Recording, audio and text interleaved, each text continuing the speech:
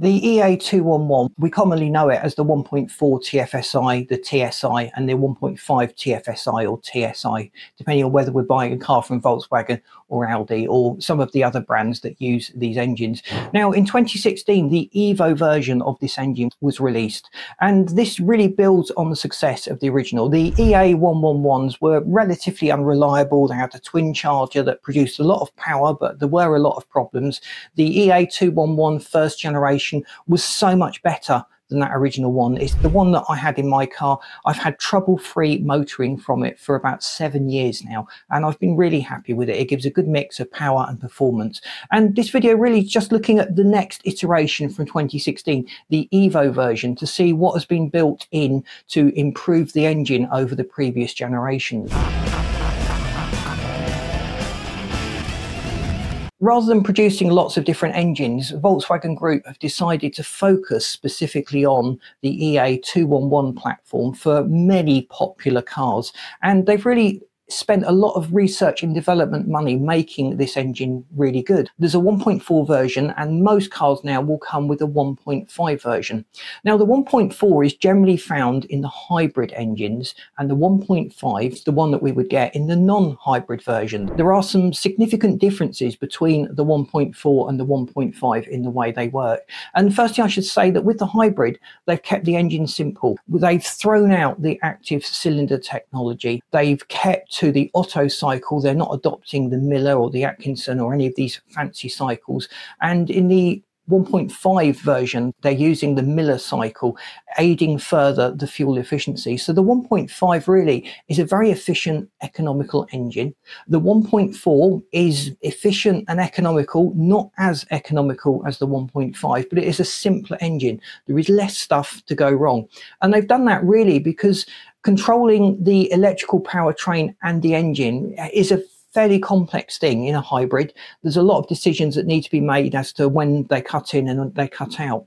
And just adding the complexity of the cylinder on demand and the differences you will get from not using the Otto cycle, just make that a little bit more complex. They have moved into the Evo 2 revision, doing a 1.5 version in the hybrids. For most of us now buying the EA211 Evo, we're stuck with either the 1.4 basic engine or the 1.5 more complex engine. Using the Miller cycle in the 1.5 version of the engine means they could increase the compression ratio, which is now 12.5 to 1. The 1 litre TSI has a lower compression ratio but operates in a similar format. In the Miller cycle, just very briefly, the intake valves close earlier than they would in the Otto cycle. The engine then has less to compress, there's less compression going on, and the expansion stroke is effectively longer. It seems to shorten the compression stroke, closing that valve earlier. There's less air in there to compress, and that really does aid the efficiency of the engine. Obviously, it only does that when you don't need power. When you do need power, things are adjusted. The cylinder on demand as well shuts down cylinders two and three, so you're running on one and four and it's a seamless operation. The previous version that I've got in my car is good. You can hardly detect it cutting in and cutting out. And within one crank revolution, the system has converted to two cylinder operation or back to four cylinder. And they've really improved that. They've expanded the range very slightly. So it has a slightly wider operating range on the Evo version of the engine. We're also starting to see adjustments to the turbo technology that's being used. They're using variable geometry turbochargers. These have been used on diesel engines for many years, but they're starting to use use them now in these gasoline or petrol powered engines. This really ensures the engine spools up very quickly. It feels much closer to a naturally aspirated version. There's a little bit of lag and a little bit of a delay in my version of the engine, but that has been minimized a little bit in the Evo revision by using this different turbo configuration. It makes for a much smoother operation as well. Turbo speeds can reach about 290,000 RPM and exhaust gas temperatures are up to about 950 degrees centigrade things that these turbos can handle fairly easily. They've chosen a very, very reliable turbo unit for these engines, and it gives a very strong amount of torque from very, very low down in the RPM range. The 1.5 engine actually sounds notably different to the 1.4, maybe a little less refined, a little more raucous, a little more visceral. It is more of a driver's engine in terms of the pure engine note. The fuel injectors on the 1.5 litre engines are now rated to about 350 bars of pressure, which is quite a lot. They need it for the efficiency, and they can now manage up to five precisely measured bursts of fuel delivery per cycle. And that really allows you lot more control over the flame front, the way the power is produced, and how clean the engine actually burns. Port injection was added to the EA211 engine. I'm not quite quite sure of the year when this was added, and I know that it wasn't added in all regions. Only some regions got port injection. Some of the cars imported from Europe to other regions, like Australia, may also have this port injection as well. It's just worth checking where the car originated, where it was built, and chances are, if it was built in Europe, it will have the benefit of these extra injectors. The dual injection, the port injection, the direct injection is interesting. One source I found said that the port injectors are only used at idle and low loads. At medium loads, they use both sets of injectors, so the port injection and the direct injectors are used. And at high loads, it switches to the direct injection only. And one of the reasons was to meet EU6 emissions targets, which is why Europe and the UK have this extra set of injectors on the intake. And that's where fuel is also injected into the port and it helps clean the intake valves. That generally happens when the engine is cold, when it's in a warm up cycle, and it minimizes the risk of carbon buildup on those intake valves, which was a problem on all of the previous versions of the EA211 engine. That's another thing then that the manufacturers have done to improve the long-term reliability of these engines. Having port injection still doesn't completely minimize the carbon buildup, but it is significantly better than just having direct injection and no port injection at all. It'll depend to some degree on the quality of fuel you use and the additives specifically that are in that fuel, which is why I always recommend that people buy good quality fuel from good brands that have a reputation for producing well engineered additives. When you're dealing with low loads, the efficiency overall is reduced when you have direct injection because the lower intake speed and volume results in an uneven air fuel mixture and combustion efficiency is reduced. But when that goes in through the port, it means you get a much better mix of the fuel and the air charge. You'll also notice that North American versions of this engine are not as economical as these European ones, primarily due to this significant change that was made.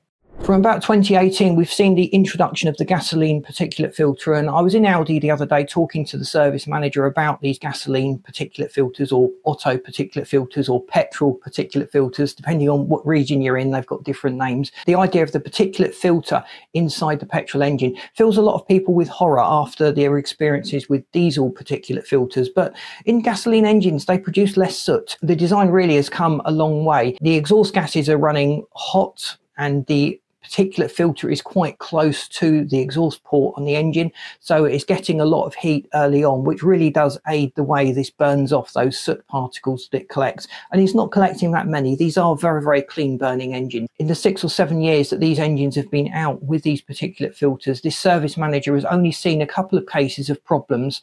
And in both of those cases it's been down to driver neglect. They've been doing very very short journeys on very very cold engines and using very very poor quality fuel that they got from a supermarket or that's been in the car for months and months on end. And that really doesn't help the way the engine burns. And they've also not maintained the car very well and ignored the service intervals and not changing spark plugs and keeping the car in running order is asking for trouble, especially with cars that have these particulate filters. And really, I would say don't worry too much about the particulate filters on these EA211 engines. They are, in the main, very, very reliable units and very well designed. The exhaust is incorporated into the cylinder head itself. That allows everything to warm up more quickly. It makes the manufacturing process simpler and easier. It does mean we don't have so much choice in the aftermarket if we want to add modifications and improvements, but drivers seem to be moving away from that. They want a car that does everything out of the factory. They don't want to mess around with it too much themselves. Let me know what you think about that. Will you buy an older car because you can do more to it, or would you prefer a newer car that's had everything done already? We're starting to see substantial power outputs from the 1.4, the 1.5 TFSI engines, particularly the 1.4 with the hybrid motor. We've seen examples in the Golf GTE 40E, the A3, the 40 and the 45 TFSI versions, they're putting out well in excess of 200 horsepower now by clever utilization of the electric motor and the engine itself. The electric motor replaces the alternator and the starter, and they use the electric motor to accommodate these functions that we would have in one of the earlier engines. I believe another difference between the 1.4 and the 1.5 is that 1.5 had plasma coated cylinder walls. I don't think that was done on this generation of the 1.4. Again, they've tried to keep things simple. Also, the 1.4 had a lower injection pressure. The 1.5, as we said, was 350 bars, and the ejection system on the 1.4 was 200 bar. Again, there may be some regional variations with that. I hope you've enjoyed this video and found it useful. Please boot the like button. If you haven't subscribed to the channel, please do so. We've got more coming up on the EA211 engines, modifying them, upgrading them, and just tips to improve the long-term reliability. And I've lined up this video and this playlist that you should find really interesting. Thanks for watching. See you in these next videos.